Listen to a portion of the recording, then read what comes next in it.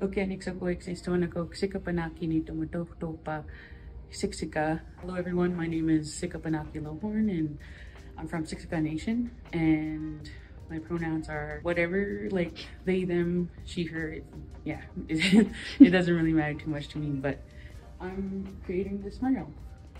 I originally had this concept of just the dog days. I was listening to a lot of stories by my grandma. We spent the summer at her house, me and my dog. She told me a story where we talked about the similarities of my dog and this dog that she kind of knew growing up. She talked about how it knew Blackfoot and was like super obedient and really well trained. It just like really made me think about like that relationship that like Blackfoot people have with dogs. And there's always like that, you know, that humor of like res dogs.